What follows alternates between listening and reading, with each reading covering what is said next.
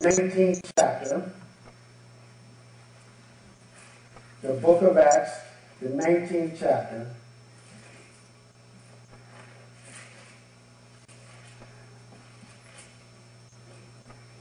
You know, my father didn't catch me by surprise this, when he asked me to speak.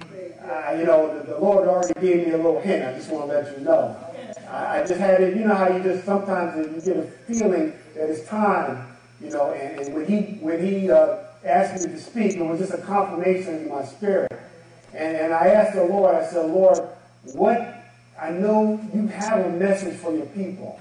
And whenever I speak, I always want to encourage. I always want to, to give people something that, that's going to help them to grow in the nurturing admonition of the Lord. And, and, and, I, and, the Lord spoke to me so clearly. He gave me an immediate message. And it's in the form of a question. And the question today is, have you received the power since you believe? Amen. Praise God. Well, let's turn our Bibles to Acts, the 19th chapter, and we're going to start at the first verse. And it happened when Apollos was at Corinth that Paul, having passed through the upper regions, came to Ephesus and finding some disciples. Now, Paul was on a missionary journey and he came to Ephesus. And Ephesus at the time was a very popular city. And it was a city that they worshiped many different gods, especially a god called Diana. And they were a, a spiritual people in the sense of speaking but they were not worshiping the right God. And so when Paul came to uh, this Ephesus, he says, he said to them, Did you receive the Holy Spirit when you believed? It's a curious question. First of all, he knew that they were believers, but he had to ask them a question. He said, Did you receive the Holy Spirit when you believed? And they said to him, We have not so much as heard whether there is a Holy Spirit. And when I saw that, it, it gave me to mind that that is a situation in the church today. And as we can see by just looking here, that it, you wonder why people don't have that hunger and don't have that thirst for the Lord. There's something missing. You know, we, we preach salvation, we say that, you know, we have to accept the Lord as our Savior, and most people accept that. But one thing we realize is that there is more to it. Salvation is not just a one-time thing. It is a lifestyle. It's something, you know, we have to realize that, it, that it's just not, you just don't stop there. You have to go on living. Yes, yes. As these disciples said, we have not even so much as heard of the Holy Spirit. And I, that's what I think sometimes was lacking in a lot of churches today. I'm not going to sit here and just go around and start criticizing churches, but what I'm saying is I believe that the reason why a lot of Christians don't grow and, and, and they don't move on to the place that God has them because they don't know. They have not heard. Just like these disciples said here, we have not so much as heard there is a Holy Spirit. And so Paul said to them, Unto what then were you baptized? Because they had been baptized already. And he said, so he said, unto John's baptism. They were baptized by John the Baptist. And John the Baptist baptized them unto repentance. And Paul said, John indeed baptized with the baptism of repentance, saying to the people that they should believe on him who would come after him, that is Christ Jesus. So John was saying, it's not about me. He said, I'm pointing you, first I'm telling you to repent. And then I'm pointing you to the answer to your problem, which is Jesus. And he said, and when they heard this, they were baptized in the name of the Lord Jesus. Now, interesting, that whole doctrine and the whole uh, church was built on just that one statement.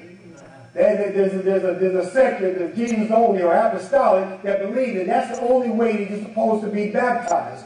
But if they really read the word, and knew the word, Jesus said himself, he said, baptizing them in the name of the Father, the Son, and the Holy Ghost.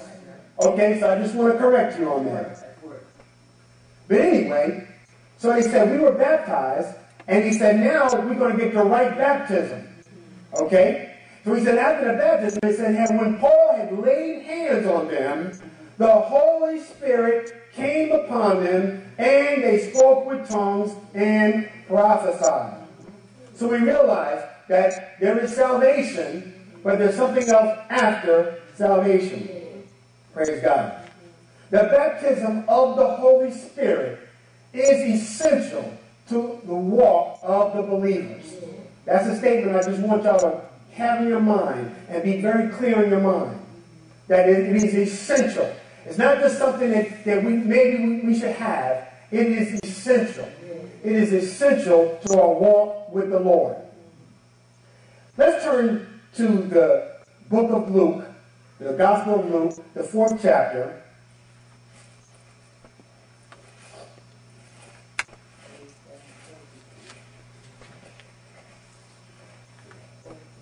The fourth chapter of the Gospel of Luke.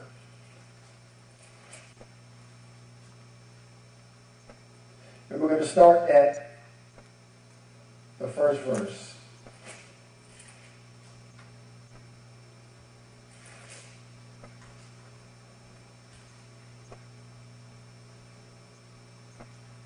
I'm sorry.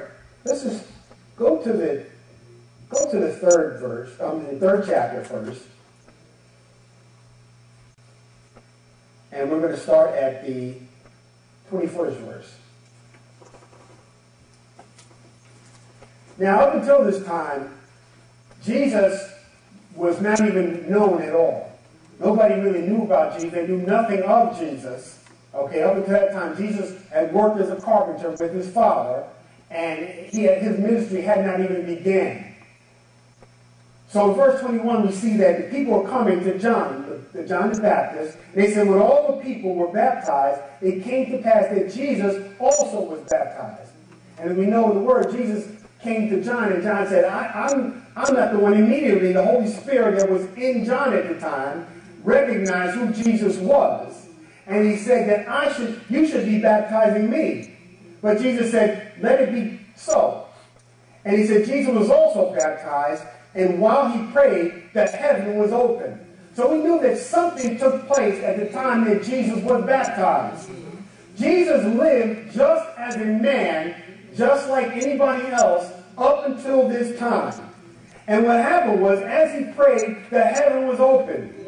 And the Holy Spirit descended in bodily form like a dove. Now, it was not a dove, but it seemed in appearance like it was a dove. And upon him a voice from heaven. This was an actual voice. This was not somebody imagining this happening. This actually came to pass. He said, You are my beloved Son. In you I am well pleased. So at that time, Jesus began his ministry. And one thing we know here is that Jesus did not do anything in his ministry until this took place. And just turn right over to, the fourth chapter and read the first two. We're going to read the first two verses. And said, Then Jesus, being filled with the Spirit, with the Holy Spirit, okay, returned from Jordan and was led, underline that word, led by the Spirit into the wilderness.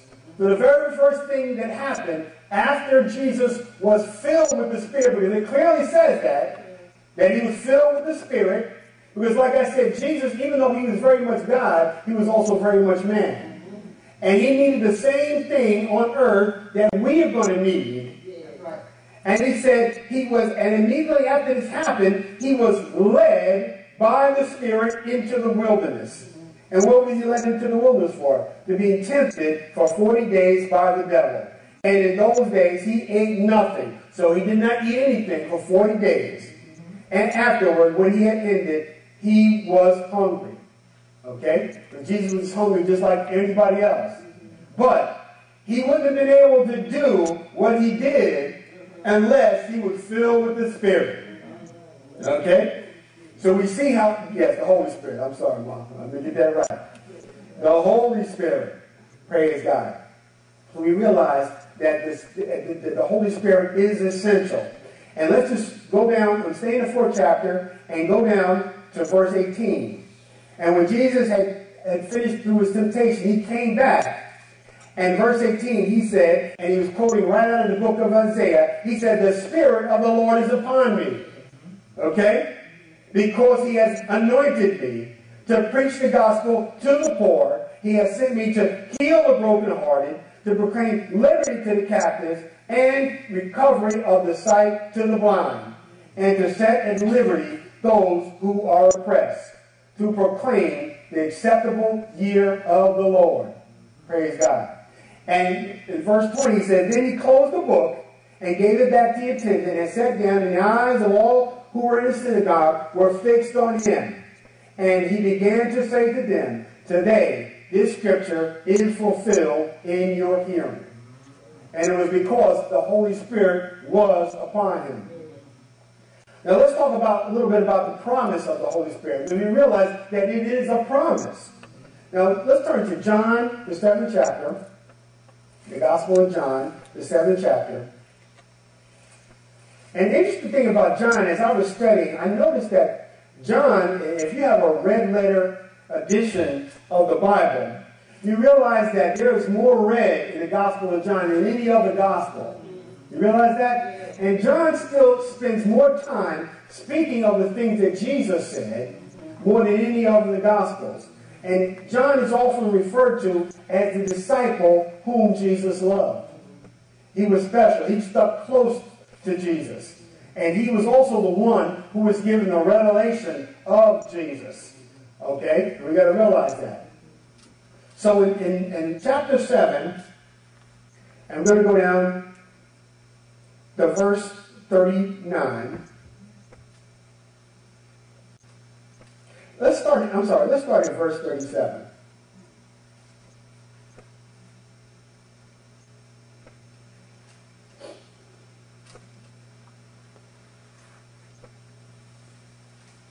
And it says, On the last day, the great day of the feast, Jesus stood and cried out, saying, If anyone thirsts, let him come to me and drink. I'm sure that was an interesting thing for Jesus to say at that time, because they were just had finished the feast, and, and I'm sure that they were well fed and had drunk enough when Jesus made a statement. How many know that whenever Jesus makes a statement, he's always making a statement to draw attention to himself and to have the people know that there's something that you need, to draw attention to their need. So he's saying that there was a thirst, and I, and I, I spoke a message before about how Jesus is the ultimate thirst quencher.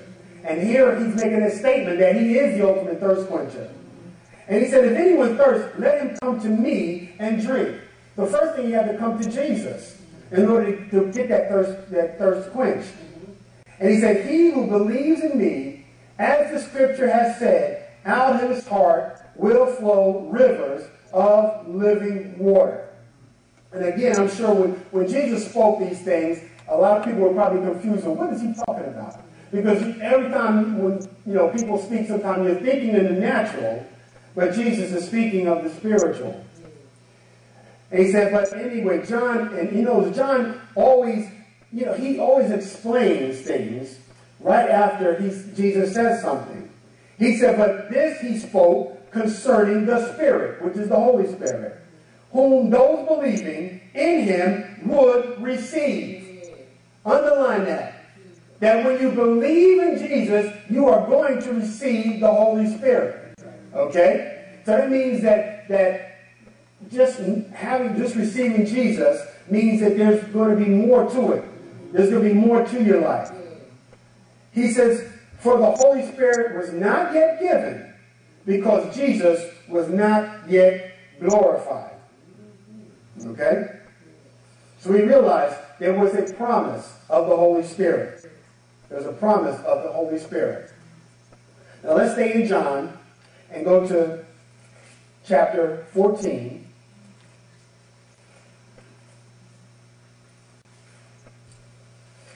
Now, if you notice, like I said, from chapter 14 all the way through, actually to 18, Jesus is spending a lot of time talking. And John records all this. There's a lot of mouthful. I'm going to go through a lot of these scriptures and, and, you know, if time permits, we're going to try to go through them because they're all pointing to this, this promise of the Holy Spirit that we're talking about. In verse 1, chapter 14, he says, Let not your heart be troubled. He said, he said the reason why he said that because he just talked about telling them that they had to lay down their lives. We, we don't, as believers, we don't realize how blessed we are in this country. Mm-hmm. You know, there's people that have been beheaded, mm-hmm. have been crucified. This, this group, this ISIS, that, that's in, you know, is in the news now, they are actually giving people a choice to convert to Islam or die. Okay, they're telling people they have to renounce, and, and there's actually people that have actually renounced. There's one particular man that actually renounced and converted to Islam because he did not want to die. But I'm telling you, saints, there's going to be a time when there's, and there's already a time, it's already here, that people are making a choice between whether to serve God or to serve the devil. But Jesus is saying, let not your heart be troubled. You believe in God, believe also in me. He knew that they also, they already believed in God. But he said, now I want you to believe in Jesus. And you know what? Even though they've seen Jesus perform miracles, they've seen the miracles Jesus performed. They've seen the things he's done. He already raised the dead. He already healed the sick. He's already performed all these miracles. And it seemed like that should be enough.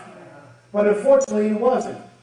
He said, In my father's house are many mansions. If it were not so, I would have told you, I go to prepare a place for you.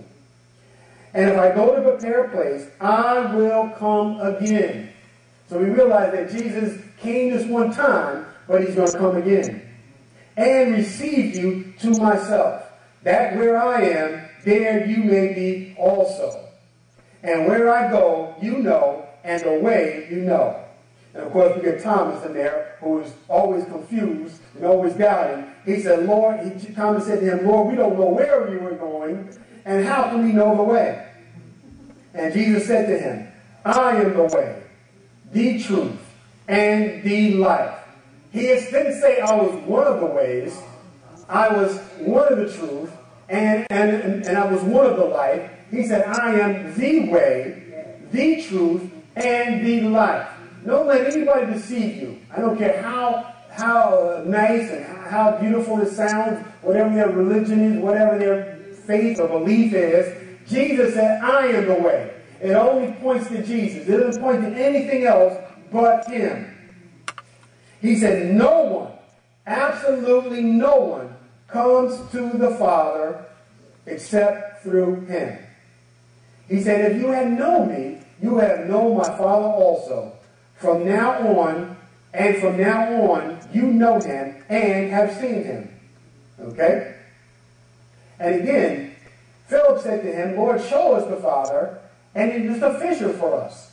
Now, Jesus said, if you know me, you're going to see the Father. It is something. But you know what? I'm getting to a point here. The thing about it is that when, when, you're, when you don't really have that spiritual understanding, these are the questions that you're going to ask. Jesus said to him, Have I been with you so long, and yet you have not known me, Philip? He, has see, he who has seen me has seen the Father. So how can you say, Show us the Father? Do you not believe I am in the Father, and the Father in me? The words that I speak to you, I do not speak on my own, but the Father who dwells in me does the work. Believe me that I am in the Father, and the Father in me, or else believe me for the sake of the works themselves. Now, it should have been everything that Jesus did, should have been enough for them to be convinced. But he knew it wasn't. Because he says in verse 12, Most surely I say to you, he who believes in me, the works that I do, he will do also. Saints, the very same things that Jesus did, we are, have the ability to do also. Okay? And he says, greater. Now, when he's talking about greater, he's not saying that they're going to be more spectacular. He's talking about they're going to be more greater in quantity. That's what he's talking about. Because Jesus was limited. Jesus was limited because he lived as a man. He was limited by time and space. Okay? But he said when, when the disciples go and they preach the gospel and they make disciples, they're going to be greater, more volume of these works taking place. Okay? And he says, and whatever you ask in my name, oh, the faith people love this scripture, and whatever you ask in my name, that I will do, that the Father may be glorified in the Son. If you ask anything in my name, I will do it. Now, a lot of people take that scripture and they run with it. But they forgot something here. It says, in my name. They said, you ask anything, he'll do it. Now, they leave out in his name. The thing about it is that when we have the Holy Spirit, he's going to give us the capacity to ask right. To ask the thing that's in his name. Okay? Because the word is going to be within us. I'm getting ahead of myself here. He says, he says, if you ask anything in my name, I will do it. If you love me, keep my commandments. Mm. Boy, that, that's, that's a sticking point right there. Now, he just said, ask anything in my name. People get excited about that. Uh-huh. When they hear that, everybody gets excited. Uh-huh. And they jump out of their seats and run around seven times, okay? But right after that, said, he said, if you love me, keep my commandments. It seems unusual from the place that right in there, but there's a purpose behind that. And we got to realize that we cannot keep his commandments unless we have the Holy Spirit. And because immediately after that, what does he say? He says, And I will pray the Father, and he will give you another helper.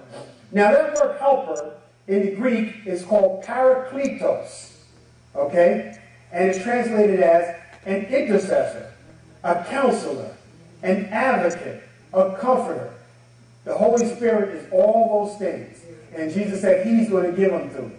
He's going to give us to him. We know an advocate, advocate is just like a lawyer. I watch a lot of uh, Law and Order. I'm, I'm, a, I'm a Law and Order buff. I love that. Uh, I love to watch stuff like that. Okay? And, and you notice that when, when you got a good lawyer, he knows all the tricks to get you off, to get you out of it. You know? But one thing we know about the Holy Spirit, the Holy Spirit doesn't need no tricks. The Holy Spirit just deals with the truth. These lawyers out here, they deal with deception. They use all kinds of angles and tricks, and you know, and the district attorneys, and they, they come up with all angles and tricks to, to convict the people. But one thing we realize is that the Holy Spirit deals solely in the truth. Because He is the way, the truth, and the life. and just what, he, what did I just say? I said, He said, the helper, He's going to give you another helper. Who is this intercessor? Who is this counselor? Who is this advocate? If you need somebody that's going to, that's going to, con, con, is a consoler. I mean, not counselor, consoler. When you when you need consoling, he's going to be your consoler. I tell you, I know that I would not be able to handle the situation that I went through in my life if it wasn't for the Holy Spirit. I can tell you without a doubt that I would be a mess. I would be a complete mental mess if it wasn't for the Holy Spirit consoling me in my life. Bringing the scriptures that I needed to my mind to console me. Now, I'm not saying you're not going to weep. When you lose someone that you love, you're going to weep. And in natural, you're going to weep. But thank God for that consoler. Thank God for that advocate. Thank God for that intercessor. Praise God. That's everything that the helper is. Okay? And he says, that he may abide with you forever. Not just for a short period of time. He's going to abide with you forever. Forever. Hallelujah. So as long as you're on this earth, until you translate into glory, the Holy Spirit is going to be with you. He is going to abide with you forever. Hallelujah. Hallelujah. The Spirit of truth. I'm just talking about the truth. Did Jesus just say he was the way, the truth, and the life? So that means God the Father, God the Son, and God the Holy Spirit are all the same. The three is one. Okay? I know I'm making the Jesus only people mad, but I'm just saying what the Word of God says. He's speaking about a separate but equal. He's saying the Spirit of truth, whom the world cannot receive. The world's not going to understand the Spirit of truth. They're not going to be able to handle the Spirit of truth. Okay? And he says, because it neither sees him nor knows him, but you know him. And Jesus is speaking prophetically here. He's saying that, that now you don't, you don't understand a lot of things I'm saying, but you know him. Jesus always speaks positively because he knows when he prays about something, because he just said he was going to pray, right? He said he's going to pray to the Father. And when he prays to the Father, he knows he's going to get the answer that he asked for. And he asked that, that, that they receive the helper, the spirit of truth. Because the world is not going to be able to receive it. But he's going to dwell with you. That word dwell is, in the Greek is actually is meno, which means to stay in a given place, state, relation, expectancy, abide, dwell, continue, endure, be present, remain, stand, and carry. That means he's going to be with you all the time. He's going to be with you wherever you go. So that means that even when you go to the place you're supposed to be, he's going to be there. Oh, hello.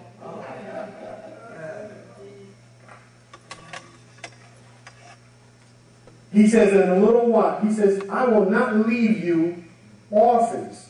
I will come to you. So he's saying that I'm going to be leaving you physically. I'm going to go to the cross. I'm going to die. I'm going to, I'm going to come back. I'm going to be resurrected, but I'm going to leave again. But he said, I'm not going to leave you as orphans. I'm going to not leave you comfortless. I'm going to, I'm going to give you someone who's going to get, be a presence. Who's going to be an ever presence. See, Jesus was limited. He could only be in that one, wherever he was at the time. But he said, I'm sending someone that's going to be ever present with you at all times. He says, at that day, you will know that I am in my Father, and you in me, and I in you. The, the understanding of who God is, and who Jesus is, and who the Holy Spirit is, is going to come clear to you. I can tell you, saints, that and, and when I was got saved, when I gave my life to the Lord, I didn't instantly, all of a sudden, just believe everything. I had a lot of doubts. And it was, there was times in my life that I even doubted what salvation was all about. And I had given my life to the Lord. I, I honestly knew that. But I knew that there, that there was something else. There was something missing. Because somebody could say something, or I could read something, or I could see something, and all of a sudden I began to doubt the very God that I thought that had saved me. But I remember one, it was a, a, a it was a New Year's Eve, watch night. And normally I would, I never went to church on, on watch night, but this particular time, for some reason, I, I, was I was led to go to church, and I went and I was actually going on the tail end of a service. And, and this man of God, I don't know, some of you might know him, Bishop Keith Young, he was ministering, and he was ministering, and and and, and I came actually on the tail end of his sermon, and he was saying, he said, you know, as we go into this new year, he said, you know, there's, there's people out there, there's something, there, there's something that they need, something that they're missing. And that just pricked my heart. And I knew, said, men of Galilee, why do you stand gazing up into heaven? That's the same Jesus who was taken up from heaven into heaven will so come in like manner as you saw him go into heaven. That's a clue right there as to where Jesus is going to come back. If you have any doubt as to where Jesus is going to come back, he didn't come back to America. Okay? They were on the Mount of Olives.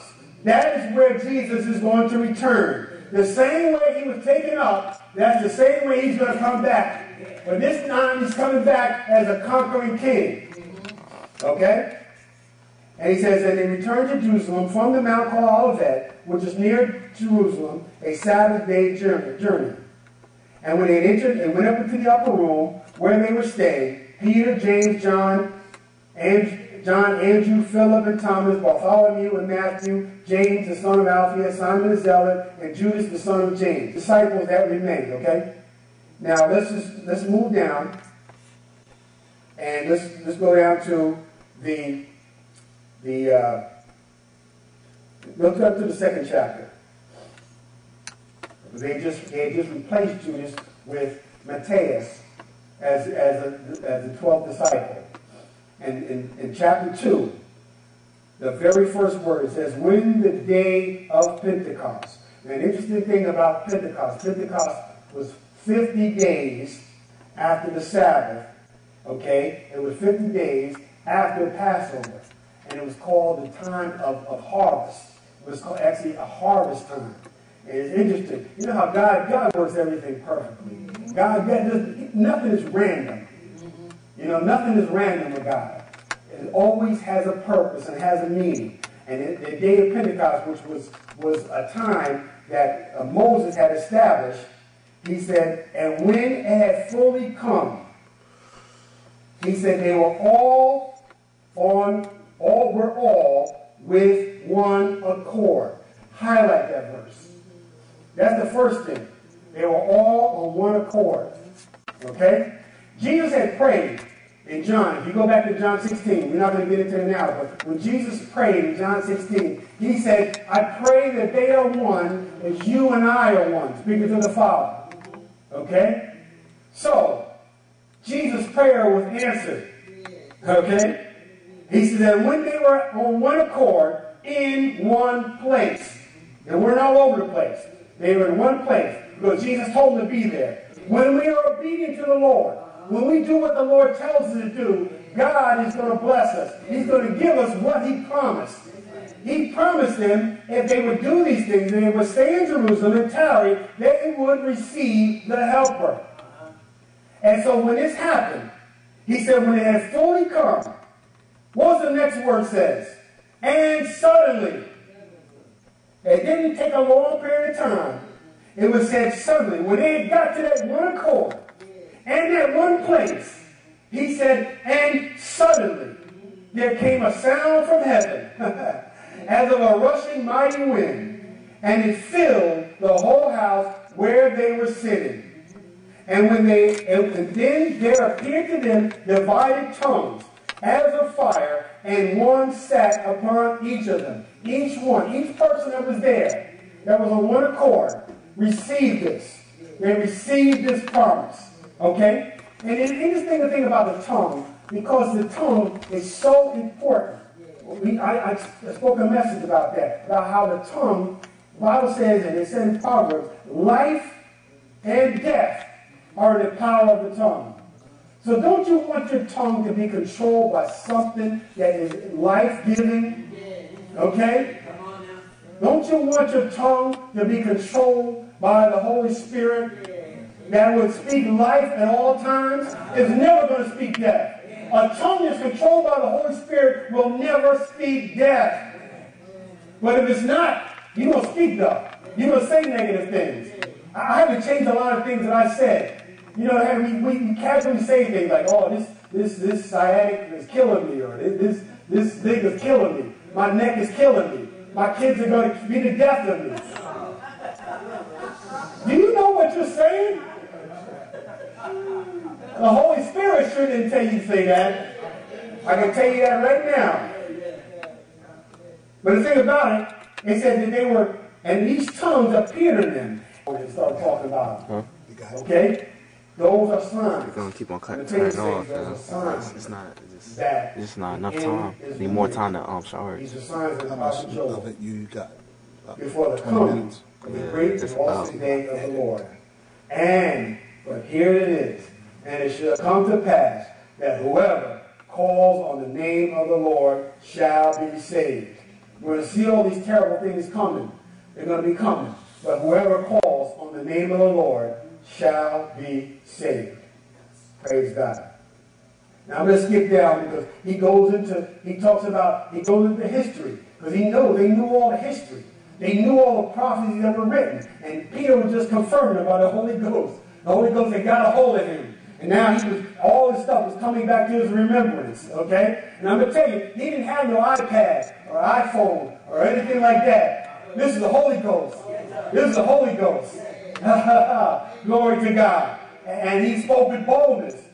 And listen, just skip down to verse 36. He said, Therefore, let all the house of Israel know assuredly that God has made this Jesus, whom you crucified, both Lord and Christ. Now, when they had heard this, they were cut to the heart. In other words, they were convicted and said to Peter and the rest of the apostles, Men and brethren, what shall we do? And Peter said to them, Repent, and let every one of you be baptized in the name of Jesus Christ for the remission of sin, and you shall receive the gift of the Holy Spirit. So it's more than just getting saved, saints. A guarantee. What is that word guarantee? A guarantee is a pledge, a part of purchase money or property given in advance as security for the rest. How many, when you, when, when you, when you buy a car, well, a lot of today they say no money down, but guess what? You're going to pay for it one of these days. Well, when you buy a house, you buy anything of great value, you got to put a down payment on it. We have been bought with a price. They put a down, they put a down payment. First of all, we were purchased by the blood of Jesus. And then there was a guarantee. What is that guarantee? A guarantee is the Holy Spirit. He said, who is the guarantee of our inheritance? That's the guarantee of our inheritance. I know I'm getting my inheritance because it's guaranteed by the Holy Spirit until the redemption of the purchased possession to the praise of his glory. Hallelujah. Hallelujah. Saints, I just want to tell you today, we've been bought with a price. There's a down payment been put on us. And that down payment is the Holy Spirit. And I just want to encourage you today, if you have not received the gift of the Holy Spirit, if you've not been filled with the Holy Spirit, I would encourage you today, don't wait. Don't wait. It's a promise. How many if, if I had a, a treasure chest with a million dollars in here, I wouldn't have to tell y'all twice to come up here and get it. Okay? I would just say, the treasure chest up here, y'all knock me down and get to that treasure chest. We got something that's